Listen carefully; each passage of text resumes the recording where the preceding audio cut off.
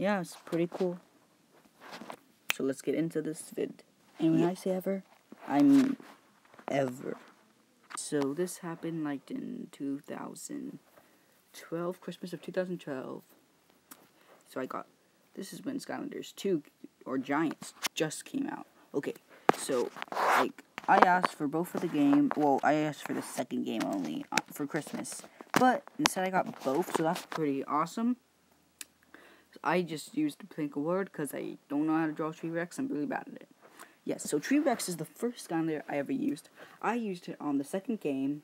I was like really excited that I got Skylanders. So that okay, so so we waited like hours, and then finally at the end of the day, I got the portal out, plugged it in, put the game in, and and I plopped that Skylander on it.